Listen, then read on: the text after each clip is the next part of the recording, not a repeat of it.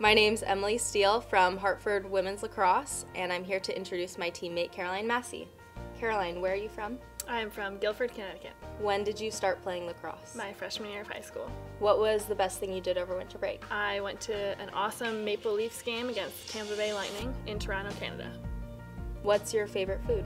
Mashed potatoes. Favorite color? Blue. Who is your favorite superhero? Um, Batman. How do you like your eggs cooked? Sunny side up. And your favorite sport other than lacrosse? Basketball.